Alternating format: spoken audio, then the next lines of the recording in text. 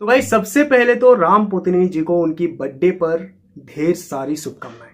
मैंने देखा डबल आई स्मार्ट का टीजर बहुत ही धमाकेदार टीजर है। मज़ा आ गया। लिटरली खतरनाक मासी टीजर लेकिन गाइस दुख की बात यह है कि रेस्पॉन्स नहीं मिल रहा है। बहुत ही ज़्यादा कम व्यूज़ है। मैं दावे के साथ कह सकता हूँ कि आप में से बहुत सारे लोग होंगे जो कि टीजर अभी तक नहीं देख चुके रहेंगे। पूरी जगन्नाथ यूट्यूब चैनल पे अवेलेबल है। ओके हिंदी में भी है वहाँ पे। आप जाकर के एंजॉय कर सकते हो। बड़ा ही कमाल का टीजर है, बड़ा ही धमाकेदार टीजर है।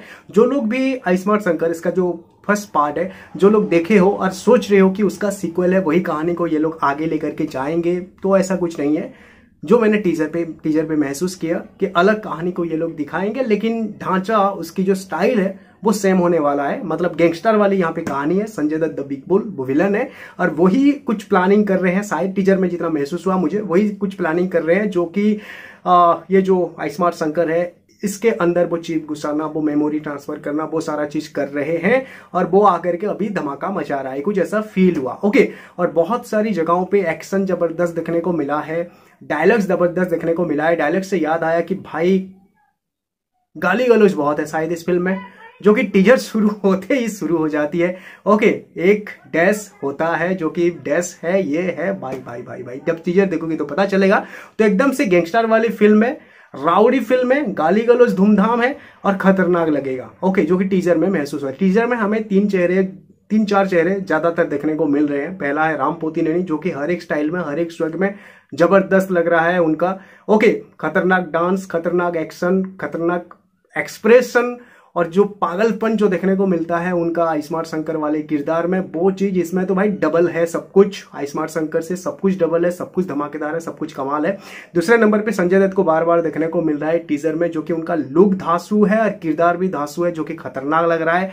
और बिग बस वाली बानी जे भी है इस फ़िल्म में, जो कि संजय दत्त का असिस्टेंट है शायद, और वो मतलब बार बार दिख रही है, उसका भी कुछ अहमियत किरदार है और अली को भी देखने को मिल रहा है, जो कि बहुत ही कॉमेडी खतरनाक होने वाली है, जो कि राम पोतिनेनी के साथ है। तो ऐसे बहुत सारे चेहरे देखने को मिला और टीजर हमें कंप्लीटली मज़ा दे गया और एहसास करवा दिया, एकदम से फील करवा दिया कि फ़िल्म एकदम से ज़बरदस्त होगा। आखिर में हमें भगवान शिव का रेफरेंस भी देखने को मिला है, जो कि आयुष्मान शंकर में सबसे ज़्यादा हाईलाइट था। त्रिशूल लेकर के पूरा एकदम से भी दौड़ते हैं। बिल्कुल वही वाले सीन को एकदम खतरनाक तरीके से यहाँ पे शूट किया गया है, जो कि राम पोतनी जी का जो एक्शन जो होता है ना, ऐसे जो निकाल पर वो तिलक तिलक जो लगाते हैं, वो वाला सीन बहुत ही ज़्यादा खतरनाक लगा, कड़क लगा, मज़ा आ गया। दो गाने मुझे सुनने को मिले और दोनों के दोनों गाने इतना पागलपन, इतना क्रेजी टाइप का मुझे फील हुआ, जो कि भाई मज़ा तो ज़रूर आएगा। एक है स्टेपा मार स्टेपा मार, मज़ा आ गया, और दूसरा वाला माँ की गिरगिरी गिरगिरी।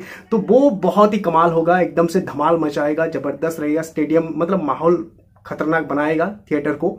थिएटर का माहौल बहुत ही ज़बरदस्त बनाएँगे ये दोनों सॉन्ग। और मैं आपको एक चीज़ कहना चाहूँगा यहाँ पे, हिंदी एसेंट को लेकर के, शायद, राम पोतिनेनी खुद वहाँ पे हिंदी बोल रहे हैं। अच्छा लग रहा है बहुत ही अच्छा डायलॉग है वहाँ पे बहुत आ, मतलब सही तरीके से वो बोल रहे हैं अपनी कैरेक्टर के हिसाब से।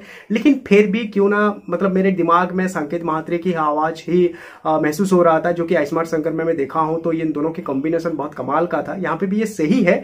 आप जाकर के अपना राय राय दे सकते हो अगर टीजर देख चुके हो तो ये वाली वॉयस को कंटिन्यू रखें या फिर मतलब संकेत महात्रे जी को ही बाद में फ़िल्म में लिया जाए। आ, पता नहीं। ओके आप मुझे कमेंट करिएगा लेकिन पता नहीं क्यों मेरे दिमाग में संकेत महात्रे का वॉइस ही मुझे ये हो रहा था कि हाँ वो होते तो कुछ अलग होता क्या? पूरा का पूरा फ़िल्म है उनको देना चाहिए क्या? मैं ऐसा सोच रहा था। लेकिन टीजर में जितना सुनने को मिल रहा है नाम राम ने निका बहुत ही कमाल लगा है। एकदम से पागलपन भरा डायलॉग वगैरह सुनने को मिला है उनका। देखते हैं क्या हो रहा है। भाई फ़िल्म बहुत कड़क है बहुत मज़ेदार आएगा बहुत खतरनाक लगेगा महसूस हो रहा है टीजर से। पर रिलीज़ डेट अभी तक तय नहीं किया गया है, क्योंकि मैं आपको बहुत पहले से बता ही दिया हूँ यार, आप लोगों को भी पता है कि सेकंड हाफ़ जो है ना 2024 के बहुत सारे साउथ की फ़िल्में ही आ रहे हैं बड़ी बड़ी फ़िल्में आ रहे हैं तो किसी भी फ़िल्म का रिलीज़ डेट तय करना अभी थोड़ा सा मुश्किल हो रहा है। तो इसी वजह से शायद रिलीज़ डेट अभी तक ये लोग फिक्स नहीं करे हैं। जब रिलीज़ डेट पता चलेगा तो फिर से आपको हम अपडेट देंगे। लेकिन टीजर जाकर के देखिए, पूरी जगन्नाथ यूट्यूब चैनल पे एकदम से अवेलेबल है। बहुत ही कमाल का टीजर है, मेरा तो दिल खुश हो गया, बहुत ही ज़बरदस्त लगा। फील हुआ कि बहुत कमाल का फ़िल्म ये होने वाली है।